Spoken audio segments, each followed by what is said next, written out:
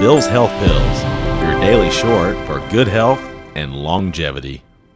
Possible effects of binge drinking.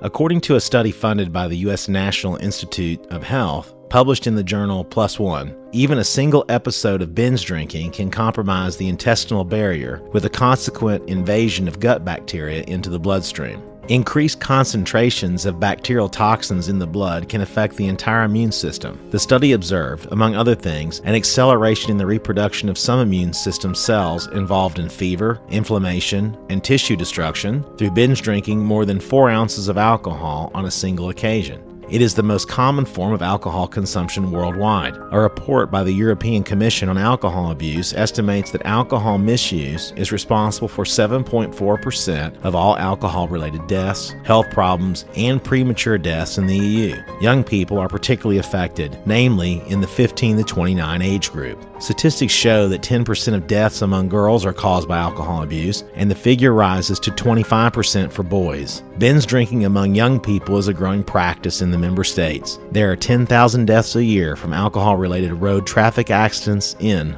the EU. You've been watching Bill's Health Pills. Please like and subscribe and leave us a comment.